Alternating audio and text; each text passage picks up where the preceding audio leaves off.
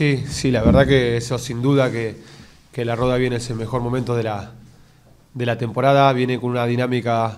de, de 16 puntos sobre 18, eh, hizo algunos, algunas variantes con respecto a, al equipo que inició la, la, temporada, eh, no es nada que ver a, a los primeros partidos de, de, liga donde le costaba ganar, ahora ve, ve puerta y, y triunfos con, con relativa eh, facilidad, al margen de, hacer un buen trabajo, de tener la estructura de equipo, pero está en una buena dinámica y nosotros no, no, tenemos ninguna duda de que para poder ganar el partido de, del domingo tenemos que hacer muchas cosas bien, tenemos que tratar de mantener y, y, seguir eh, con nuestro ritmo de juego eh, y a partir de ahí con el ritmo de ser un equipo muy vertical, ser un equipo muy agresivo. Eh, en buscar portería contraria podemos llegar a tener premio, pero está claro que, que hay que anular muchas virtudes del equipo rival que, que, que las tiene.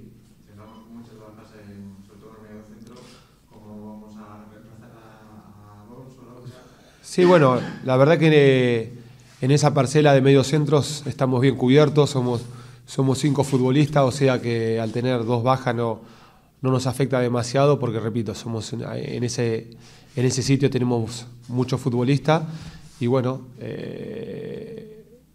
van a salir dos jugadores que seguramente que lo van a hacer igual, de bien, porque todo el mundo trabajamos, hacemos lo mismo, todo el mundo sabe lo que tiene que hacer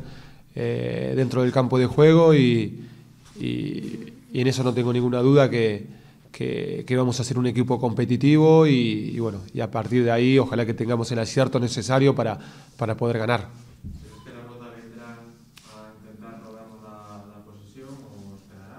A ver, eh, tiene, tiene, tiene argumentos en donde ellos suelen eh, a veces esperar eh, en campo propio para salir rápido a la contra, porque tiene gente, gente arriba que son rápidas, pero también tiene eh, la opción de, salir eh, a base de juego combinado, de tratar de llegar a, bandas para, para buscar centros. O sea que bueno, que va a haber fase del partido donde seguramente que ellos van a estar esperando en su campo para salir a la contra y momento donde ellos también van a, van a poder dominar. Eh, está claro que nosotros mañana para poder eh, llevarnos el partido adelante vamos a tener que estar muy bien con balón, dándole mucha velocidad al juego, tratando de, de poder ganar duelos uno contra uno para poder desnivelar eh, y tratar de, repito, de ser rápido para, para que todas las ayudas, coberturas, del equipo rival no, no, no, se acomoden y eso va a ser una de las claves para nosotros en tratar de, de poder eh, buscar el gol. Aparte de, bueno, de tener las vigilancias ofensivas, eh, que muchas veces, como pasó el último partido aquí con Madrid, atacás con mucha gente y te olvidas eh, cuando perdés el balón. Entonces, en ese aspecto hemos trabajado de que hay que atacar, hay que acumular gente en, eh, en campo rival, pero cuando se pierde tenemos que estar las vigilancias bien atentas, bien despiertas para poder evitar que el equipo rival tenga contras y que nos pueda crear peligro de, eh, en ese aspecto. Hemos visto ya esta semana Fratelli con, con, el grupo, con esa máscara, va cumpliendo los plazos, no sé si nos puedes avanzar o para cuándo crees que puedes contar con, con ah, Sí, a ver, esta semana, estas últimas dos semanas estuvo entrenando eh, parcialmente con el grupo. Eh, eh después cuando hacíamos fútbol o, o, reducido o alguna, algún ejercicio de contacto él se retiraba.